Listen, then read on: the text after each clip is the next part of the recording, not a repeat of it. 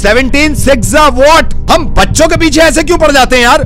Percentage percentage percentage इसके marks कम आने से आपका कोई लेना देना नहीं है. दैट्स इट हाँ जी तो ट्वेल्थ क्लास के बोर्ड्स के रिजल्ट्स आ चुके हैं और कई लोगों के अनुसार बच्चों ने जितनी मेहनत की थी, उस हिसाब से उनको उनका रिज़ल्ट मिल गया है मार्क्स के रूप में।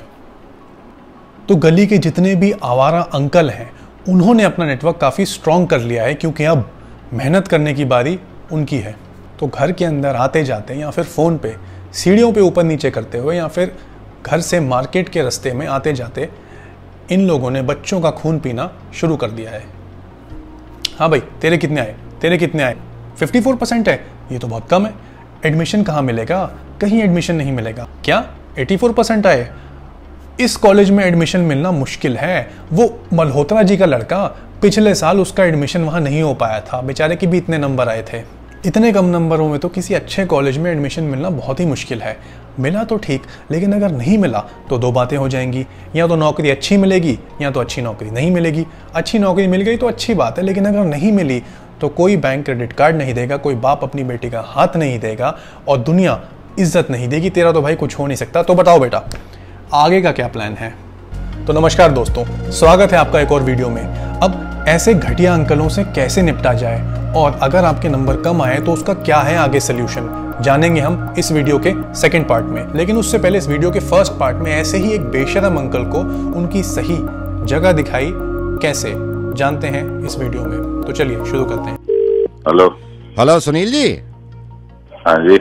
सुनील जी ये छोटू ये इस पे पानी नहीं मार रहा है यार सब्ज़ी पे। मैंने उसको सुबह ही बोला है मैंने कहा पानी मार यार। सब्ज़ी अरे कौन बोल रहा है? राघव बोल रहा हूँ। अबे तो मुझे क्यों बता रहा है? पानी नहीं मार रहा तो मैं क्या करूँ? अरे मेरा क्या लेना देना इससे। आप आपका लेना देना नहीं है इससे? मेरा क्या को लेना देना होगा इन चीज़ों से? तो तुम्हारा लेना देना क्यों है अगर तुम्हारे भतीजे के मार्क्स कम आए ट्वेल्थ में तो? सुनील जी आपको शर्म आनी चाहिए। ये मुझे पता चला, आपके, आपको मालूम है, आपके भतीजे ने रोते हुए मुझे शो में फ़ोन किया था रेडियो मिर्ची से नवेद बोल रहा हूँ। रो रहा था वो, उसके 52 परसेंट मार्क्स आए वो खुद रो रो के कह रहा था, आपने जान ले रखी है उसको फ़ोन कर कर कर, उसको और अपने भाई को फ़ोन करके? कि इसके मार्क्स इतने कम क्यों आए? क्या लेना देना है आपका? कितने फ़ोन कर चुके हैं? आपको ये मालूम नहीं है कि उसके 52 परसेंट आए या 52 बार पूछेंगे आपके कितने परसेंट आए इसके?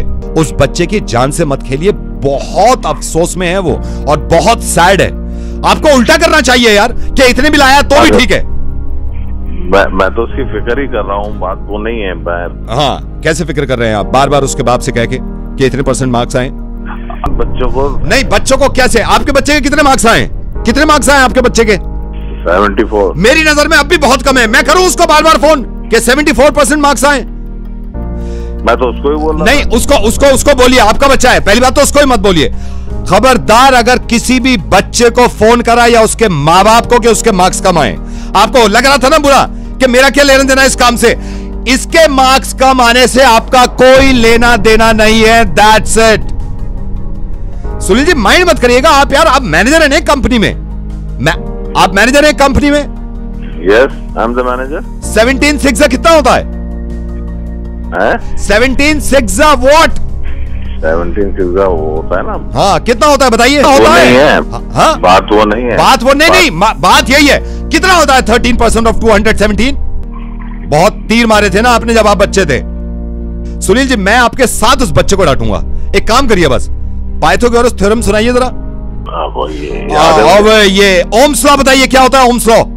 आपको ये ये तो- भी याद है कि ओम्स लॉ क्या होता यार ये बहुत मेहनत कर रहे हैं बच्चे प्लीज़ इनको सपोर्ट करिए। एक भी बच्चे से कहने की ज़रूरत नहीं है कि तेरे मार्क्स कम है या तू बर्बाद हो गया है। मार्क्स बर्बाद नहीं आप जैसे लोग बर्बाद कर रहे हैं। इसलिए ऐसे लोगों की बातों को आप लोग प्लीज़ सीरियसली मत लीजिए। मैं आपको दरअसल इनका आज नेचर ही बता देता हूँ, उनका नेचर कैसा होता है। देखिए, दो तरह के लोग होते हैं। पहले वो होते हैं जो कन्वर्सेशन स्ट्राइक करना चाहते हैं। आप जैसे फॉर एग्जांपल आप इन लोगों से शादियों में या फिर गेट टुगेदर्स में या फिर यूजुअली घूमते फिरते मिल जाते हैं। और ये कन्वर्सेशन स्ट्राइक करने की वजह से, एक कन्वर्सेशन स्ट्राइक करने के पर्पज से आपसे सिर्फ़ एक ही सवाल पूछते हैं तो बेटा नंबर कैसे आए? हाँ बेटा, कैसे रिपोर्ट कार्ड तो आगे का क्या प्लान है? तो अब फ्यूचर के बारे में आपने क्या सोचा है? अच्छा बेटा नंबर कितने आए नंबर तो अब क्योंकि ये आपसे, इनके पास और कोई टॉपिक नहीं है तो इसलिए आपसे कन्वर्सेशन स्ट्राइक करने के लिए आपसे नंबरों के बारे में पूछ लेते हैं।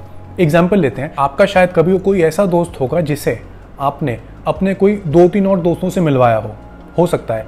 तो उस सिचुएशन में जब वो दोस्त आपका उन दो तीन दोस्तों से मिले तो कई बार आपने रियलाइज़ किया होगा कि वो उसके पास कोई बात करने को नहीं होती तो वो आपका मज़ाक उड़ाना शुरू कर देता है। अरे यार, वो तो ऐसा है, ये तो ऐसा है, हा हा हा हा।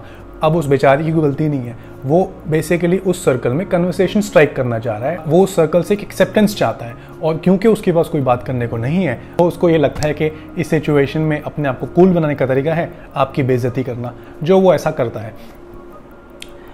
ये अंकल आंटी भी ऐसे ही होते हैं। इनके पास कोई कन्वर्सेशन नहीं है, कोई मीनिंगफुल बात नहीं होती करने को, इसीलिए इनका सिर्फ़ एक ही क्वेश्चन होता है कि आपके नंबर कैसा है, आप कैसा परफॉर्म कर रहे हो, आपकी लाइफ कैसी चल रही है।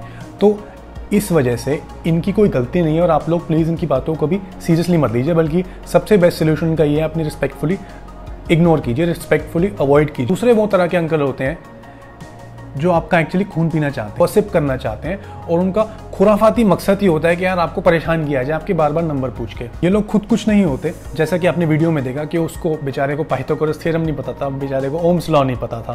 तो आ, ऐसे लोग जो है सिर्फ़ अपना धौस जमाते हैं अपने यू you नो know, अपने से छोटों पर उनको ये दिखाते हैं कि देखो भाई हम तो आज अच्छी पोजीशन पे हैं और यू you नो know, हम तुमसे कुछ भी पूछ सकते हैं। तो ऐसे लोगों का बेस्ट सोल्यूशन ये है, एक सोल्यूशन ये है कि जब भी आपको परेशान करें या फ़ोन करें तो आप इन्हें इग्नोर कीजिए अवॉइड कीजिए। हाँ हाँ अंकल, मैं आपसे थोड़ा बाद में बात करता हूँ, वो मम्मी बुला रही हैं। हम याद आ गया। हेलो हेलो हेलो आवाज़ नहीं आ रही अंकल। हेलो हेलो समझ लो आपको ये सामने से मिल जाए और आपसे ऐसे कोई अजीब सा सवाल पूछ लें। अच्छा अंकल, मैं बहुत जल्दी में हूँ, मुझे वो वो हार्वर्ड का लेक्चर अटेंड करना अच्छा बाद में बात करता हूँ आपसे। Okay okay okay bye bye क्या क्या क्या? हार्वर्ड का? क्या क्या क्या? चैलेंज मार के कह सकता हूँ, जब आप उनको ये हार्वर्ड वाली बात बोलोगे रात भर उनको नींद नहीं आएगी ये सोच सोच के कि ये हार्वर्ड में कौन सा लेक्चर अटेंड कर रहा है? ये ऐसा क्या कर रहा है जो मेरा बेटा नहीं कर पा रहा? इसने ऐसा कौन सा तीर मार लिया जो मेरे बेटे को नहीं पता? में अगर पकड़े भी गए तो बोल देना, हार्वर्ड यूनिवर्सिटी ने कई ऑनलाइन कोर्सेज अनाउंस कर रखे हैं। बता देना कि भाई मैं ये वाला कोर्स कर रहा था। आपको क्या लगा? आप गंदी अफवाहें फैला रहे हो मेरे बारे में? तो इनको बड़ी रिस्पेक्टफुली और प्यार से अवॉइड करना ही सबसे बेस्ट सोल्यूशन है, वरना ये लोग आपका जीना आराम कर देंगे, आपसे उठ पटांग सवाल पूछ पूछ के।